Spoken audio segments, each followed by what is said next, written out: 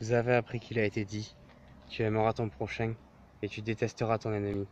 Mais moi je vous dis, aimez vos ennemis, bénissez ceux qui vous maudissent. Faites du bien à ceux qui vous détestent et priez pour ceux qui vous maltraitent et qui vous persécutent, afin d'être les fils de votre Père céleste. En effet, il fait lever son soleil sur les méchants et sur les bons. Et il fait lever et il fait pleuvoir sur les justes et sur les injustes.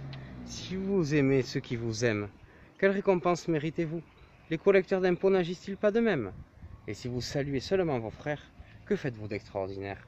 Les membres des autres peuples n'agissent-ils pas de même Soyez donc parfaits, comme votre Père céleste est parfait. Pour notre terre hospitalière, et pour nos mères si nourricières, je chante la gloire du Seigneur.